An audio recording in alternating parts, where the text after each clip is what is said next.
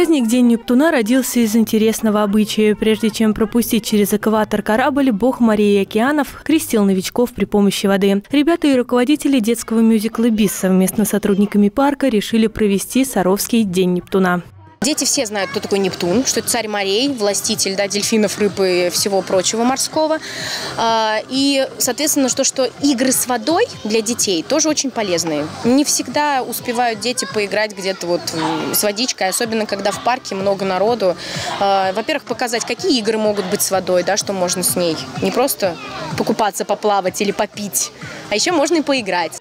Роль Океании, дочери Нептуна, досталась воспитаннице детского мюзикла «Бис» Алисе Гладковой не случайно. Как признается Алиса, она самая взрослая и ответственная в коллективе. Буду э, детей развлекать, э, устраивать им праздник и все подобие их обливать и ну, веселинки разные, там игры, песни, музыка. Гости праздника участвовали в викторинах, пели песни, играли в игры. Но больше всего ребятам понравилось обливаться водой. Мы сегодня очень повеселились. Мы играли с водой, проходили эстафеты и, и жемчужинки ловили, и рыбок. Веселились. Больше всех мне понравилось обливаться водой. Понравилось, когда водой начали окатывать.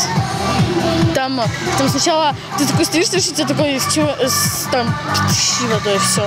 Неожиданно, да, да. было? Праздники в детском парке на улице Сосина проходят каждую среду в 18.00. На них приглашают всех желающих. Следующая программа будет посвящена Яблочному Спасу. Ирина Вышегородцева, Евгений Шикарев, Сергей Рябов. Служба новостей Саров 24.